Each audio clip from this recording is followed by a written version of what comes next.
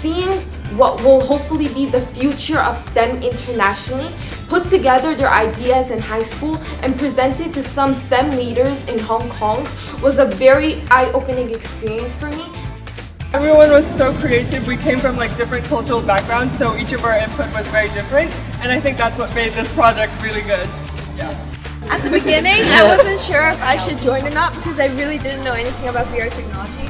And my teacher forced me to join, but to join is really, really fun. And I learned so much and I met so many new people.